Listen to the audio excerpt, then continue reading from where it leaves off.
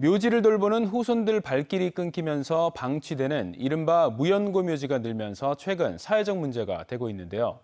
예산의 한 마을 주민들이 무연고 묘지를 대상으로 7년째 벌초 봉사를 하고 있어서 잔잔한 감동을 주고 있습니다. 김건규 기자가 주인공들을 만나봤습니다. 이른 아침부터 마을 주민들이 이해 초기에 갈퀴를 들고 마을에 자리한 공동 묘지로 모였습니다.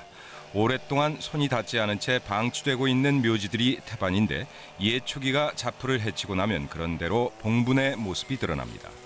주민들이 추석 때마다 마을의 무연고 묘지를 대상으로 벌초를 해온 지 벌써 7년째입니다.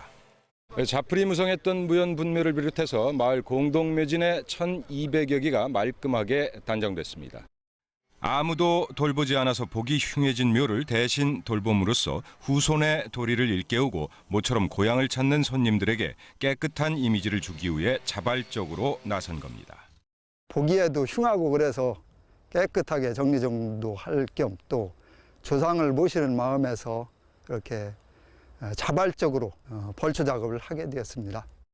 지자체로서도 해마다 개장 공고를 통해 무연분묘에 대한 정비를 해오고 있지만 현실적으로 숫자 파악도 제대로 할 수 없는 실정에서 주민들의 봉사가 여간 고마운 게 아닙니다.